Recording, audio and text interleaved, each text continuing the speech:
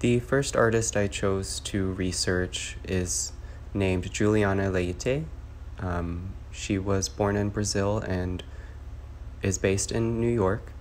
Um, her work is currently on view in Venice, Italy at the Alma Zevi Gallery. Um, she's also received a lot of other awards for her sculpting. Um, in some of the images I have here, they are very emotional, um, and that's one of the reasons I was drawn to her work.